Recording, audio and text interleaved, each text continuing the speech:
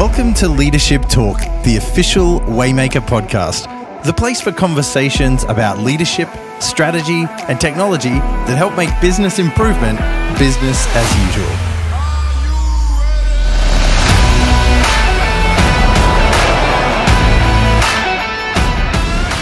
Welcome to Leadership Talk, the official Waymaker podcast. I'm your host, Craig.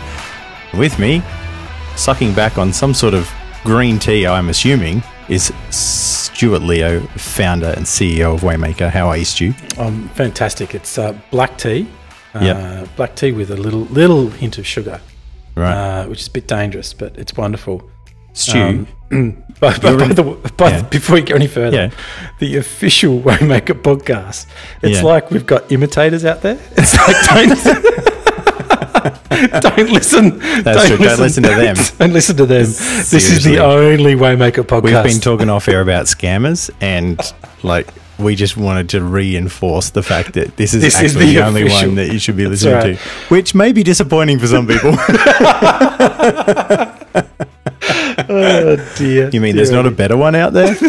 Oh dear. Wouldn't it be Well, bad? hey Stu, this is your third microphone in three weeks, and partly, partly because, partly because you've moved offices, right? That is correct. Yes. it's like um anyway, go on. Yes, it is my third microphone in three weeks. All right, well, does let's it, is hear it it. working? Is it all right? Yeah, Sound all right? No, that's fine. A little bit closer, maybe. Okay, is that better? Yeah, that's good. All right, All right, and um, okay, great. and Stu, just to test it out, perhaps you can give us a bit of a recap on the last couple of weeks before we dive into leadership posture number two. Yes, yeah. So we've we've been talking about the uh, the leadership postures required to find the breakthrough moments and build the leadership capabilities and competencies throughout the journey. So, Yep. Right back to basics. The leadership curve gets you started on the bottom left of the curve at ideation, moving through identity and market fit to calibration and team building and skills and systems to maturity, where you're expanding the organization to mastery, where you're leading the market and transforming how people live and work. And um, uh, our view is that uh, it's not about being one type of leader. Hey, you're the courageous leader or the servant leader or whatever label you want to put on your leadership style, but rather at those different stages of organizational growth, uh, you need to take a certain posture of leadership. And and and that posture changes according to those stages and that posture or that stage requires certain uh, must do actions it has certain risks and rewards and certain outcomes that you'll accomplish through your leadership that all cumulatively build up to becoming you know a leader like craig uh, a, an inspirational transformative um, masterful leader um, Come uh, come on. um, and so the uh, the journey here is about five types. F- sorry, five postures of leadership. Uh, the curious leader, uh, which is is the ideation stage. The persistent leader, which is finding market fit and identity.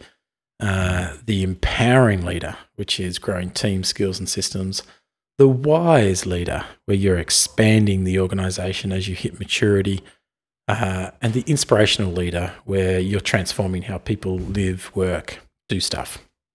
Great. And so in this episode, we wanted to focus particularly on the persistent leader, which is about finding market fit, which is almost sometimes feels like finding a unicorn.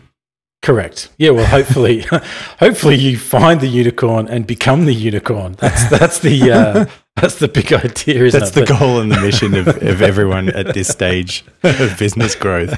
yeah, if, if you're in business.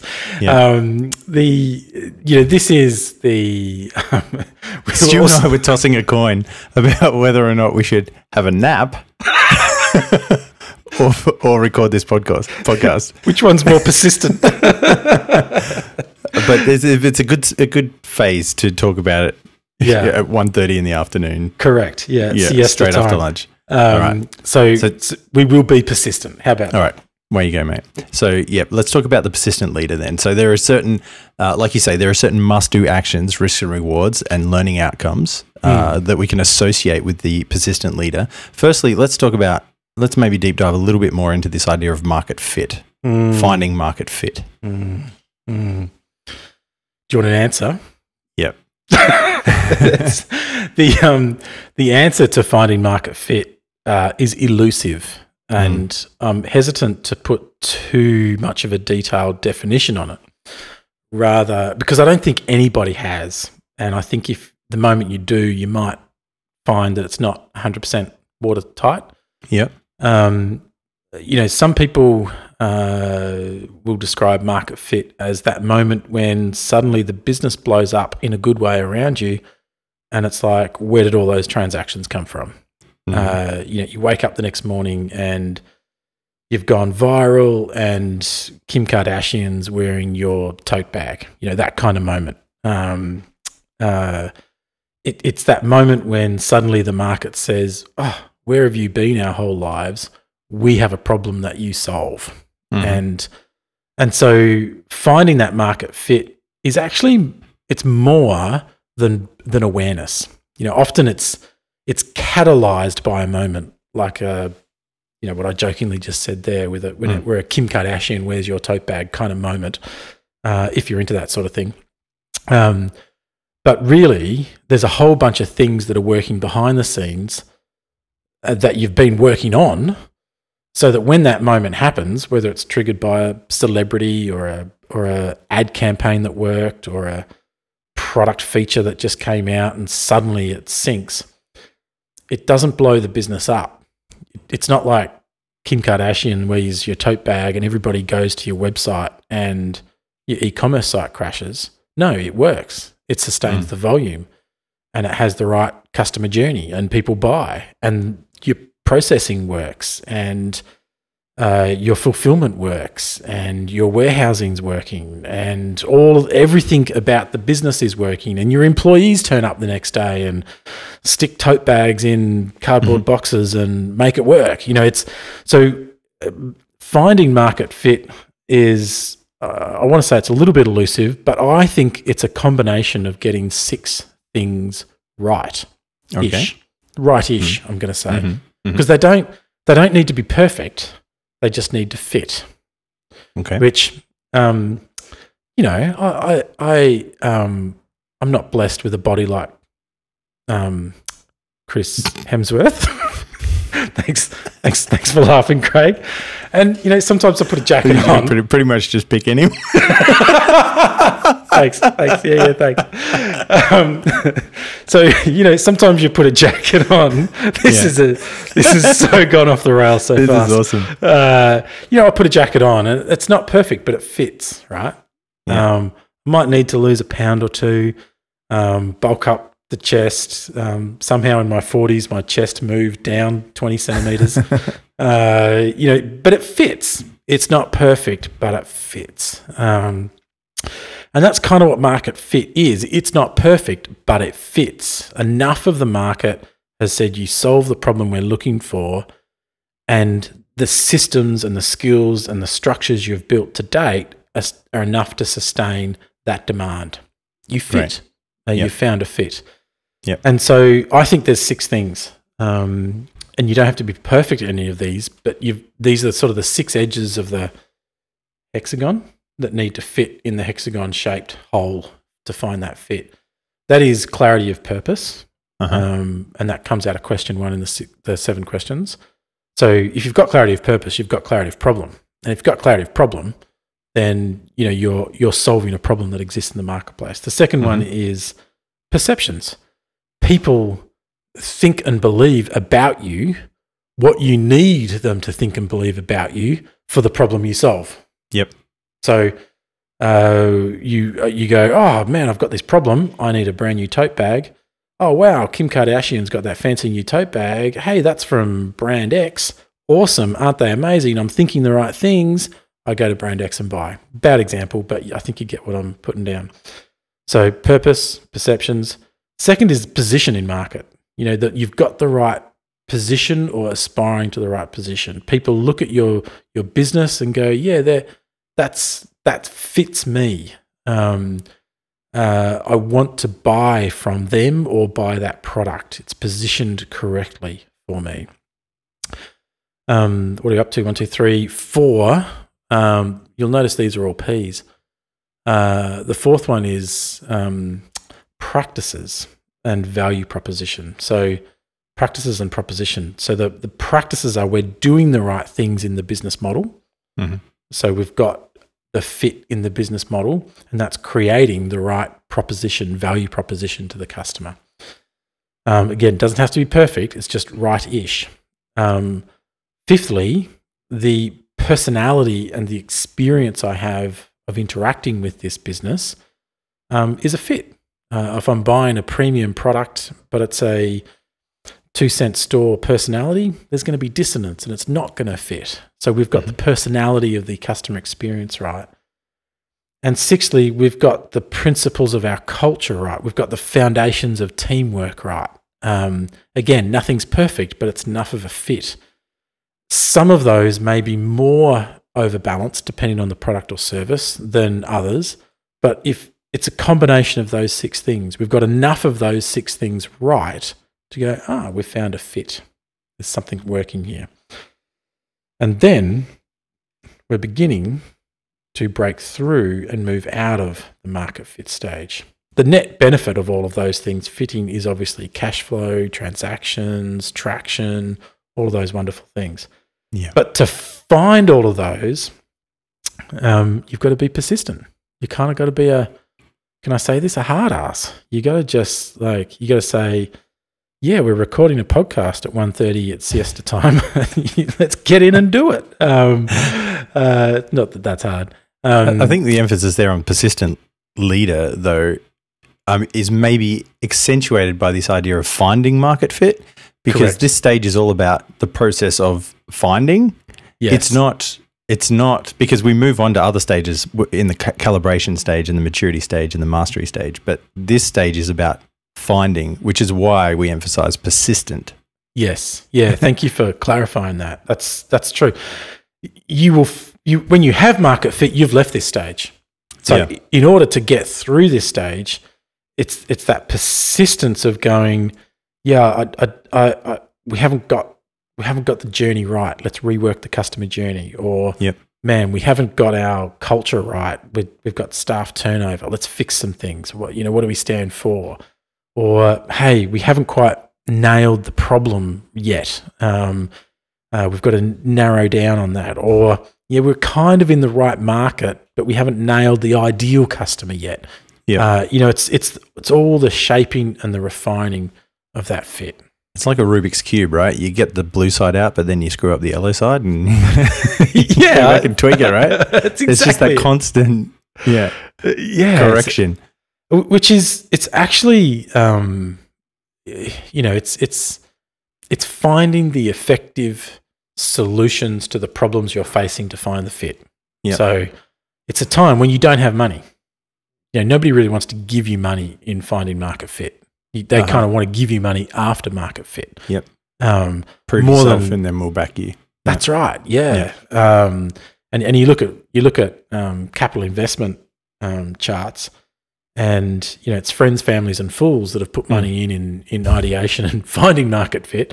Um, but it's venture capitalists that want to drop Mm. in just as you found it because you're gonna you're gonna start 10xing on a compounding rate once you've found that fit. It's a so your your job here is to be persistent and to kind of great. You know, you're grinding gears. It's not Mm. fun. Mm. It's it, it's sucky kind of time, but you've got to be persistent. It's Mo- hard most work. people that are pitching to Shark Tank have, have gone through this stage. Yeah, in fact, that's what Shark. Yeah, you know, the Shark Tanks are looking for that, aren't they? Yeah. They're, they're like, okay, well, what's the? They'll be asking questions like, um, "What's the cost to acquire a customer?" Hmm. Yeah. Uh, because you would have proven that you can go and find a customer for let's call it fifty dollars if it's a maybe a thousand dollar product, and you can consistently repeat that. Ah, that's that's that's fit. We've now got fit in customer acquisition. They might say, okay, um, tell us about your business model. Um, uh, how do you know that you're creating value for your customer? You know, what proves that they're going to they're going to come back and buy? And you might go, oh, actually, well, thirty percent of our customers come back and buy for a second time within twelve weeks. Yep, Okay, yep. that's fit. You know, so they're you can. That's I think the Shark Tank's a great example. They're asking questions to go. Uh, am I placing a bet on somebody still trying to figure it out, or am I placing a bet on somebody that's figured out and they just need my connections and my money to Yep. scale this thing? Yep. Yep. So, what are some of the rewards then, Stu, in the uh, market fit stage in the um, identity?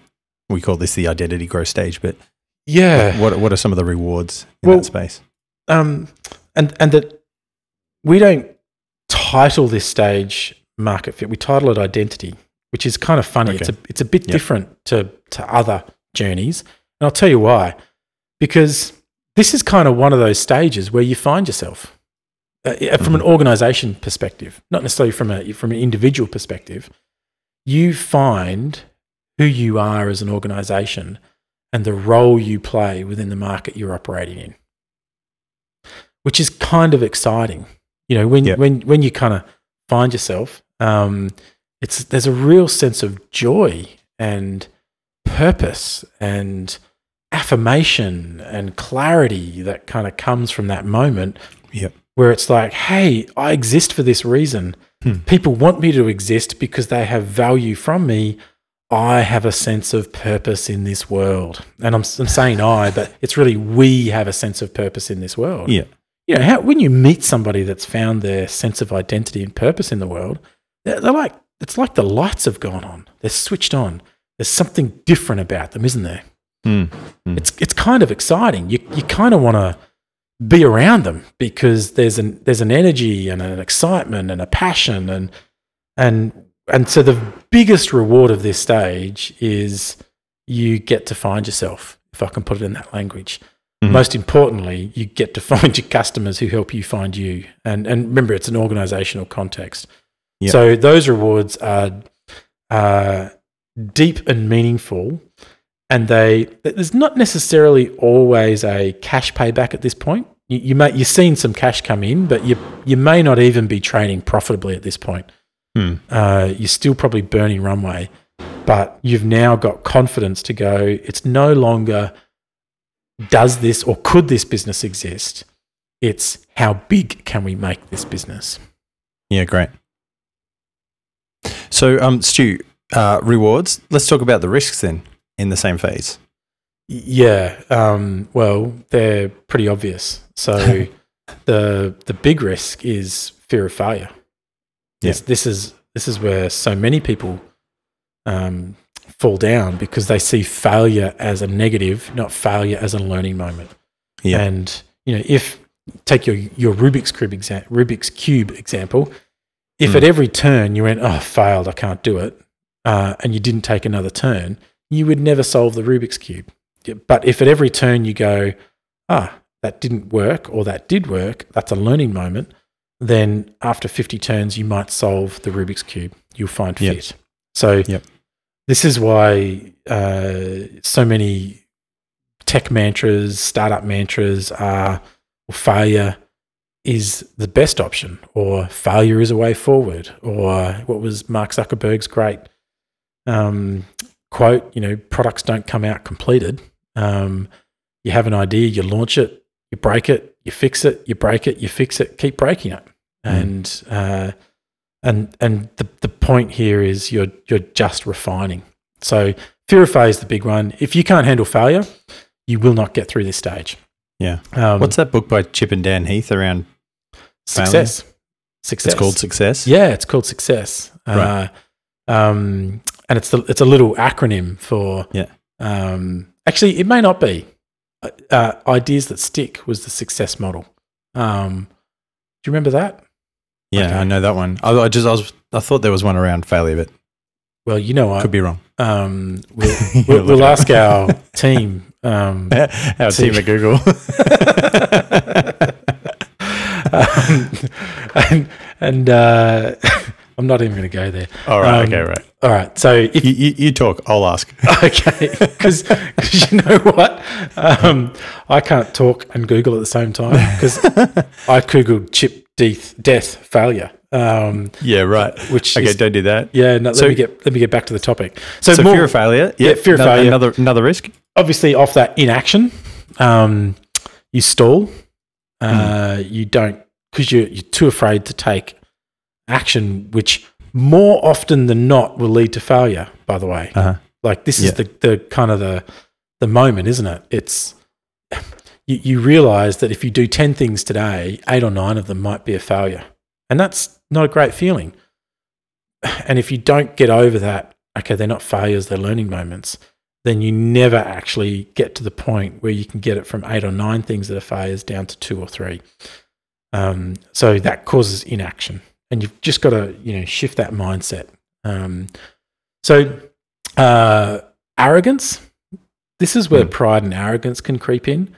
Um, as founders, we and leaders, we often think we know best, and so it's a case of, well, hey, I thought no, I, this is what this is the problem. This is what the solution. This is why you're going to want to buy this. But you talk to ten customers, and seven of them say differently. And if you're not humble enough to listen, um, and you let pride and arrogance get in the way of that, you're going to fail. Hmm. Um, which you know leads to that next, you know, not listening.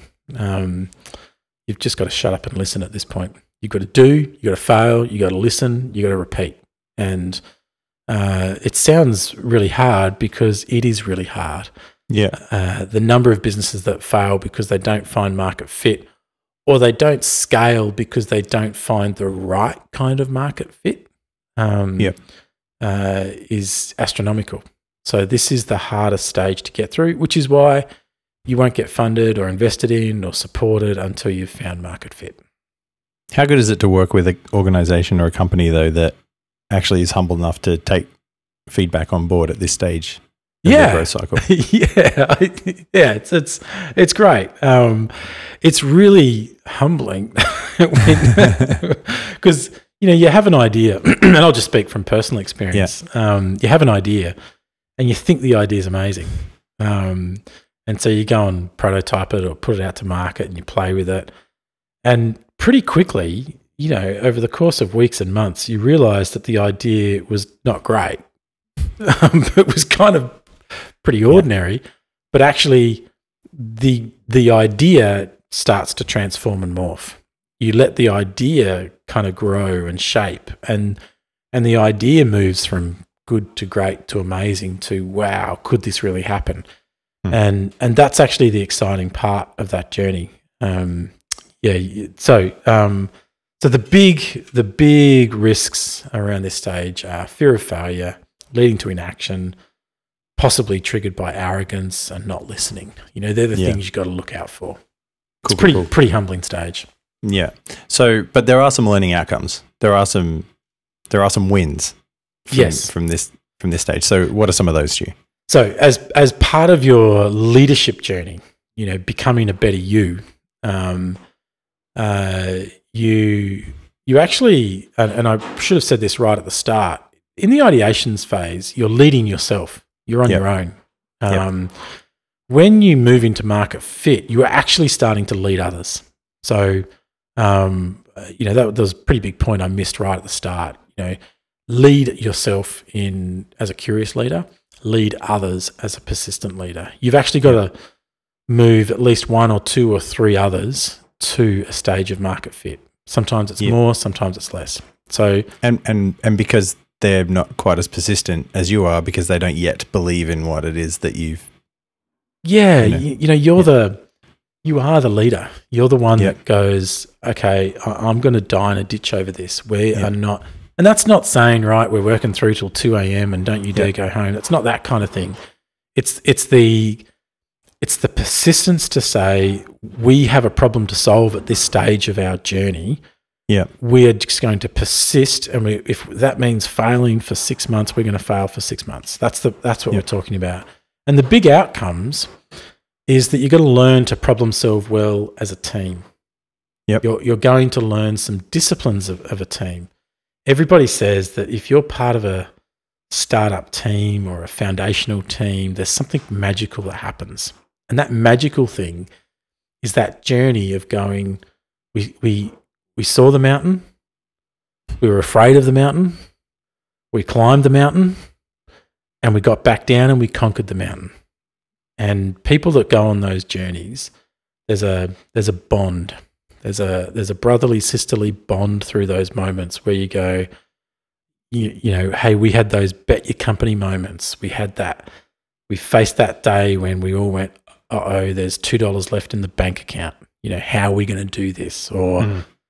Or the platform that we were working on decided to go bust and we've got to re-platform 50 customers or um, you know so, think of think of the worst problems you could ever have and you're going to have them um, uh, they hap- they happen, and so you get this team discipline emerging. This yep. this this amazing teamwork framing, which you've got to bottle. You've got to you've got to take in to the next journey because the people you're leading now, um, you led yourself. Now you're leading others. Our next stage is that those people you're leading today are the leaders of tomorrow. So this is the training ground of the next generation of leaders mm. and and they need to carry that through. So so you're going to get a lot of great customer insights, a great a lot of great employee and team insights, and you're going to learn how to do goal management really well because you're going to set good goals. You're going to go, we we hypothesize that we can achieve this. Okay, these are the outcomes that that determine that. Okay, well we didn't, or we did. Uh, you know, you're going to do goal management really well because of that continuous improvement cycle. So yep.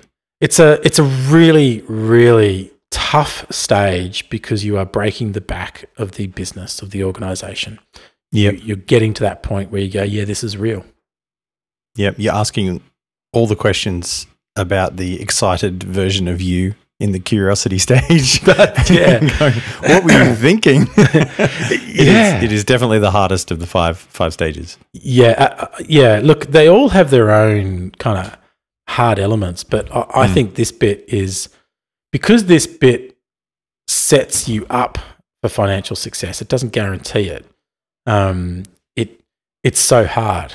And um, and you know, there's something special that you've got to bring to the table to get there. You've got to be a little bit crazy. You know, you've got to channel that Steve Jobs, we are the crazy ones. He, he was so good um, at this stage at, at, yep. at helping larger groups of people believe in a vision when that vision wasn't quite right. Putting out products. I mean, he's putting out products that are version 1.0 that are not quite right, but he's going, no, no, no, we're the crazy ones. Stick with us. There's that wonderful clip. We should find it and slice it in at this point where, um, and I'll just set the scene. You've got Steve Jobs in a in a lecture hall and wherever in in Apple Land, and somebody asked a question about, um, you know, why. Um, it was a particular code base. It might have been Java. You know, why has Apple ditched Java? You know, we're going back 20 years. And and he goes, look, um, it's just not a fit for where we're going and what we're doing. But you've got to trust us. And he starts naming some key engineers, some key developers. You've got to trust Jimmy, whatever his name is, and John and Amanda, and you got to trust what they're doing. These are good guys. They're working hard. They're rebuilding the code base. We are bringing the product back to where you are going to find what you need to deliver. Uh, and you know, he's talking to a developer conference. And what he's really saying is hang in there, like join us, stick with us. It's not right yet, but we're getting there. And one of the things I've always found is that you've got to start with the customer experience and work backwards to the technology. You can't start with the technology and try to figure out where you're going to try to sell it. And I've made this mistake probably more than anybody else in this room. And I've got the scar tissue to prove it. And I know that it's the case. And as we have tried to come up with a strategy and a vision for Apple, um, it started with what incredible benefits can we give to the customer? Where can we take the customer? Not not starting with, let's sit down with the engineers and, and figure out what awesome technology we have and then how are we going to market that. Um, and I think that's the right path to take. Uh, and that's market fit stage. That's uh, so organizations. You got to remember, organizations go back through these stages. Um, They they they go up and down this curve. They go through cycles, and and so you know he, he was clearly a leader who had been through that cycle more than once, knew what it took, and was bringing his inspirational leadership skills to journeying people through the market fit, existing customers as well as existing employees. That kind of makes sense. Yeah, that's awesome. The persistent leader, Stu. It's the second part of our growth stages uh, identity, finding market fit. Uh, and that's this is where we actually start to learn to lead others. Um, our must-do actions are that we establish the guiding vision, purpose, principles, value proposition of the organization, and some of the rewards that we get to experience are finding organizational purpose, vision affirmation, clarity of identity, value creation. Just rattling these off off the top of my head. Risks would be um, fear of failure, inaction, arrogance, not listening, and our learning outcomes, problem solve well, team discipline, customer insight, goal management. That is the persistent leader in a nutshell. Yeah, And yeah. uh, and I've, and, got a uh, couple of last words of advice. okay, throw some throw some in there. um, uh, you will feel the loneliness of leadership most Yes. evident during this stage. Uh, and and I think um, what you need to do is you need to find one or two or three other leaders who are in it or have been through it. Um, and you got to say, man, I just I want to have a cup of coffee with you every week or two, or can we, you know, jump on Slack together? Like, um, ju- this is where we're at. We're finding market fit, and you know, it could be three months, it could be nine months. I don't know, but can you just, you know, journey with me on this? Um, Mm. Because this, you know, we, we will definitely touch on this. The um, uh, John, I, I love John Maxwell. I've quoted him too much in the last couple of episodes. Uh, better start reading some other books. Um, but I love his brutal reaction to the loneliness of leadership because we all feel it in leadership, and it's and it's there. But he goes, if you're feeling the loneliness of leadership, then you are not leading well. Yeah. Right. And he actually throws it back onto the leader, saying, You're at fault here, uh, which is um, not common. I've heard too many world class leaders talk about the loneliness of leadership and kind of fall into a bit of victimhood around this. And, and I love Maxwell because he just calls a spade a spade and he goes, If you're feeling the loneliness of leadership, then you're not leading well. You actually need, it means you're not journeying together. You're not Mm. sharing the load together. And, and so you've done something wrong in your leadership. And so I think, uh, you know, and I, I, I don't know when I heard that some time ago, and it, and it really hit me going, yeah, yeah, just you, you cannot, You've got to own it.